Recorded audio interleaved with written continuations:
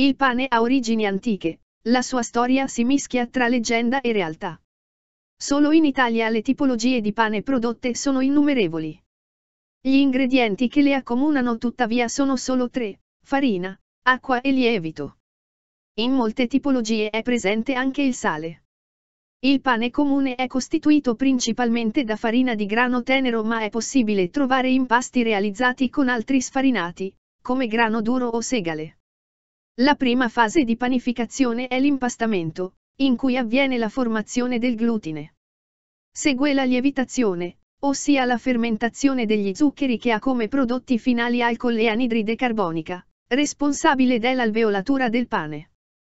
Infine la cottura, dove l'alcol prodotto durante la lievitazione viene perso e il pane diventa commestibile. Autore della fermentazione del pane è Saccharomyces cerevisiae, lievito impiegato anche nella produzione di birra e vino.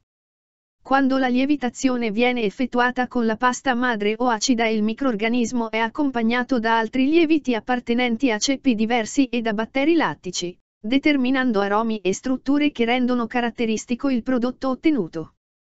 La tipologia delle farine utilizzate per la produzione di pane è un aspetto importante e i produttori si stanno sempre più adattando alle richieste di un consumatore sempre più attento alla relazione tra alimentazione e salute.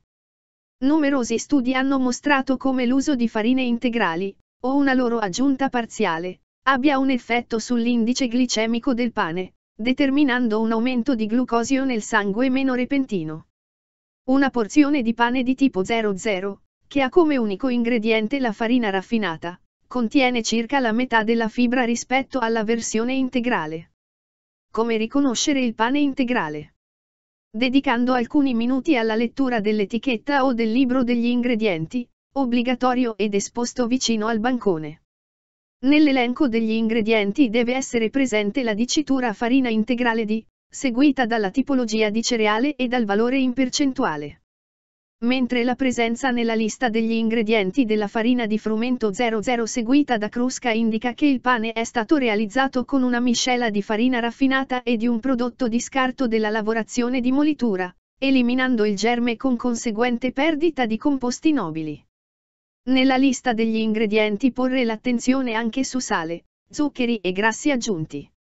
Quest'ultimi spesso inseriti per ottenere una maggiore morbidezza e conservabilità del prodotto.